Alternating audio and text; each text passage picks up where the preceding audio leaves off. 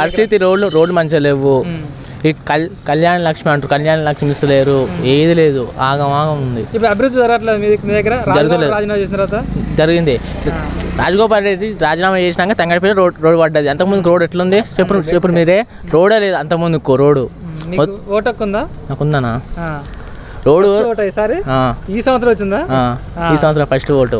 రాజగోపాల్ రెడ్డి రాజీనామా చేసినాకనే రోడ్డు పడ్డది తంగడిపల్లి. కేసీఆర్ వస్తున్నా వేసారు అర్జెంట్ గారు. కేసీఆర్ రాకపోతే రోడ్డు కాకపోదుగా ఇంత ఇంత పెద్ద గుంతలు అన్న గుంతలు ఉన్నాయి. కంపల్సరీగా రాజగోపాల్ రెడ్డి గెలుస్తాడు. మళ్ళా. అంటే మీ యువకులు మీరు అందరూ ఎట్లా ఏమనుకుంటున్నారు అందరూ? అందరూ రాజగోపాల్ రెడ్డిని గెలిపిదాన్ని చూస్తున్నాం. ఆ, ఏం చదువుతున్నాను?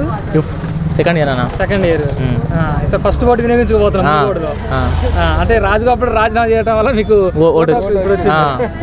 ఆయన రాకుంటే లేకపోతే నెక్స్ట్ ఎన్నికల కొద్దు ఓటు. ఓకే ఓకే అన్న సరే.